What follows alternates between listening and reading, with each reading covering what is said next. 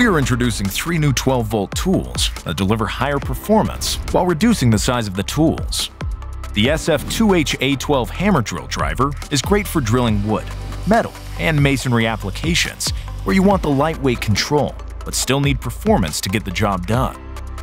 The perfect match to the SF2H is the SID2A12 impact driver to drive fasteners into masonry, concrete, wood, or metal. The narrow body allows for greater access into applications.